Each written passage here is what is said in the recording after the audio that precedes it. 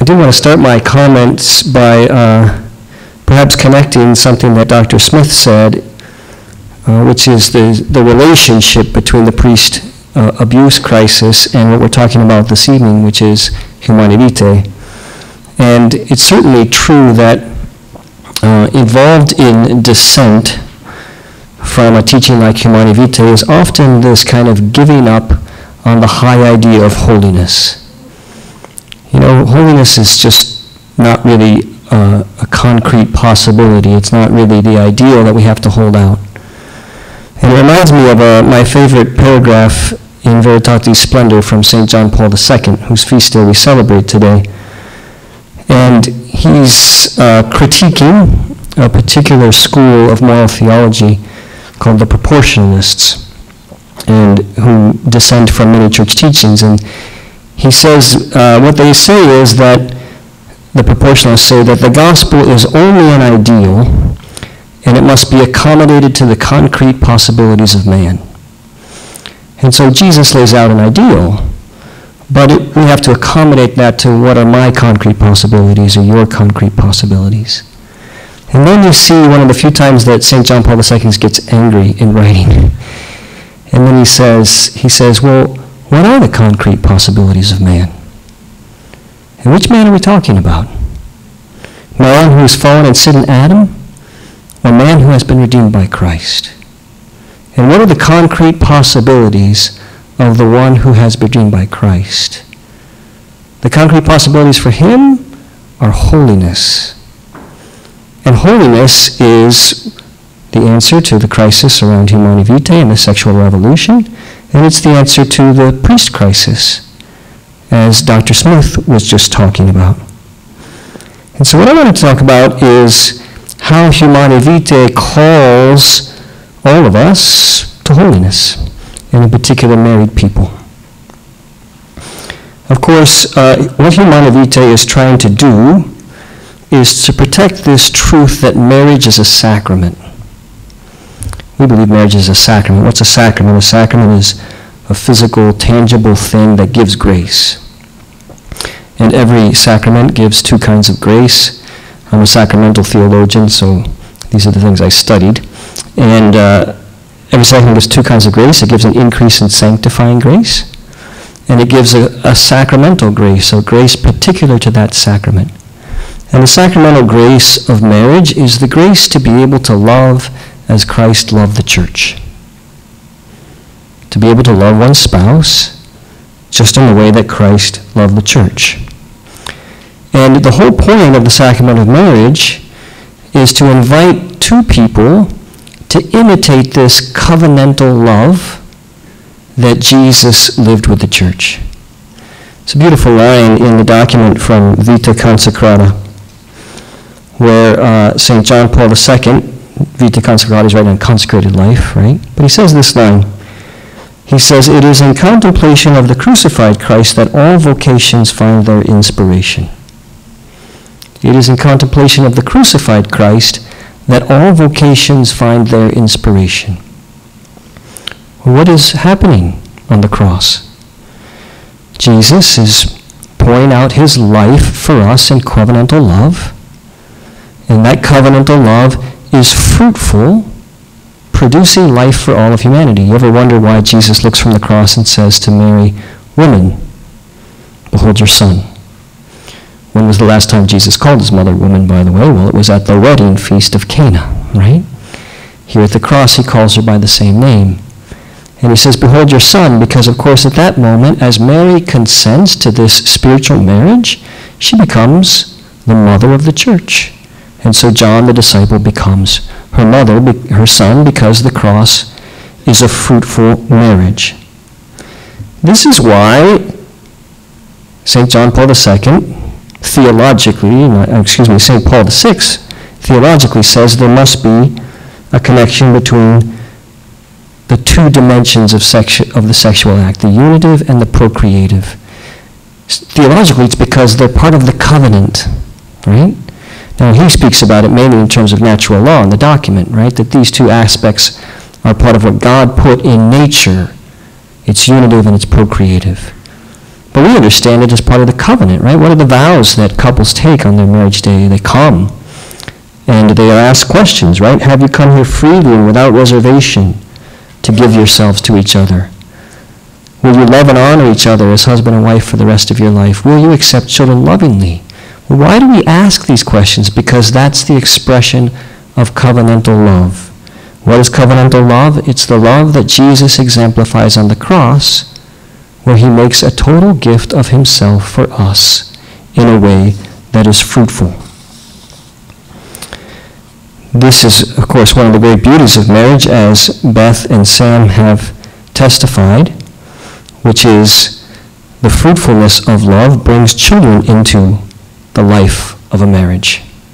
And children are the greatest possible gift that anyone could receive in this world. The only gift that God could give a couple that will last forever. Because every child has an immortal soul.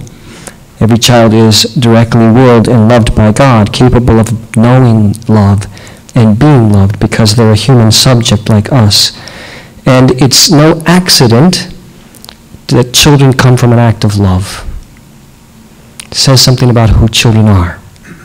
As I used to say to the couples when I was preparing them for marriage, your love is so real that when you express it, nine months later you might have to give it a name. And it will last and live forever forever, right? This is the whole distortion that Humanae Vitae has created in our culture because it makes us think that children are accidentally connected with sex. People even say it, we got pregnant by accident. I always think, were you, were you walking under a tree? It's only one way I know to get pregnant. It's hard to do by accident, right?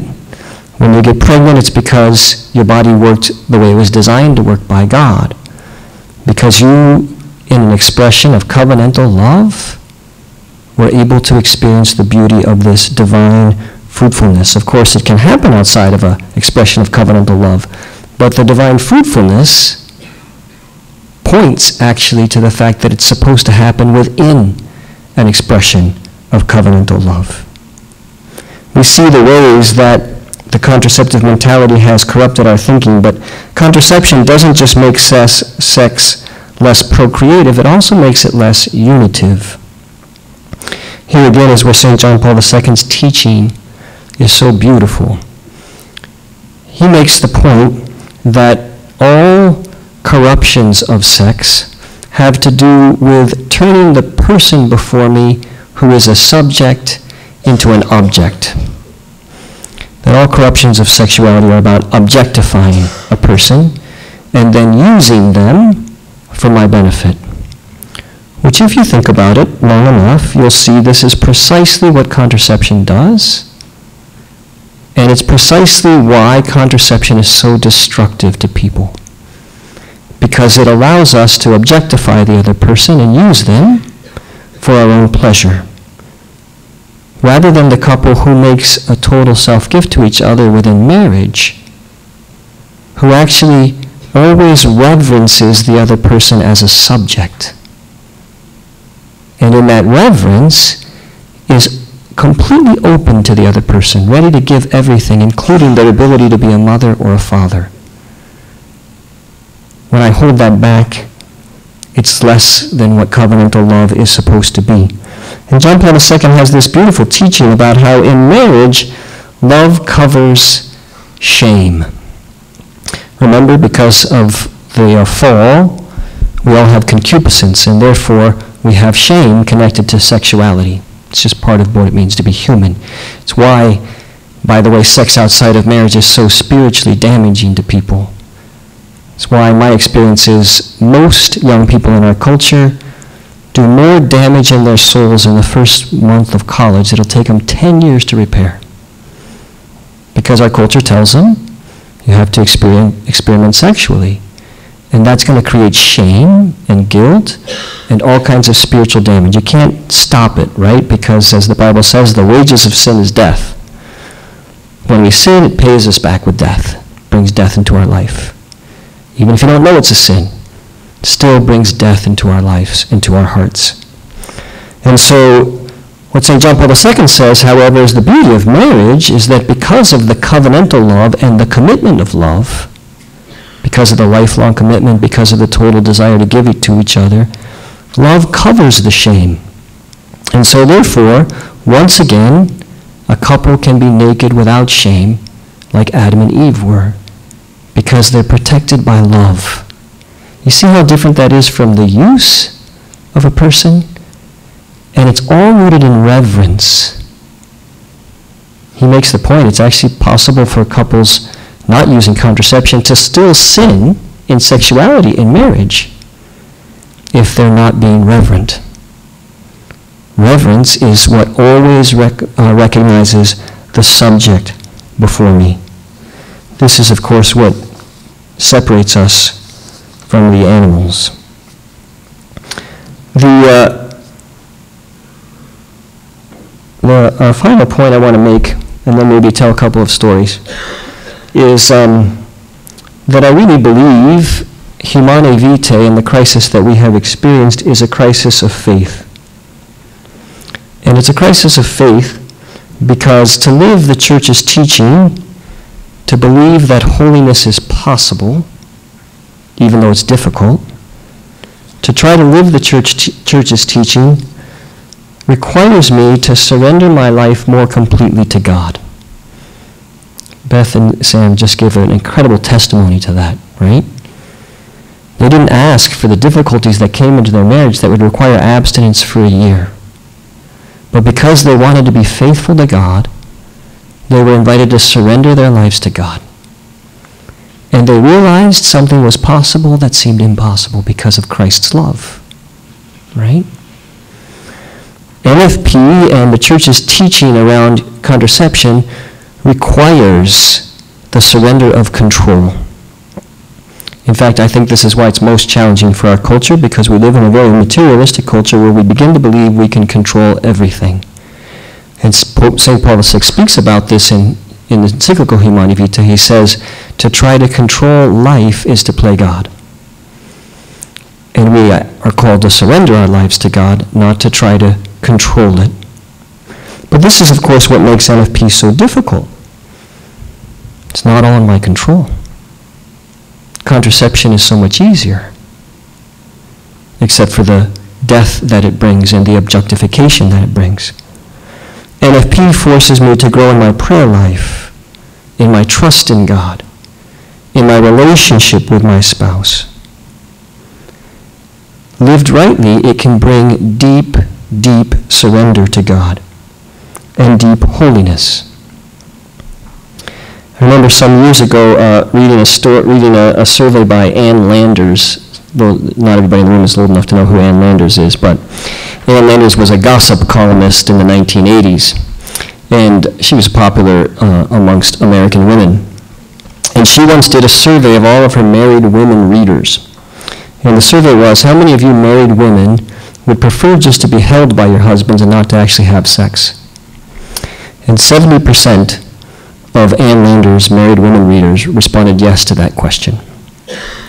And maybe her, her, the husbands of those women were particularly bad just because they were Ann Lander's readers. I don't know.